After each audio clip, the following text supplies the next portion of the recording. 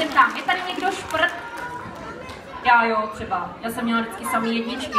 Kdo máš ty samý jedničky? Kdo bude mít samý jedničky? Tak to jste dobrý teda.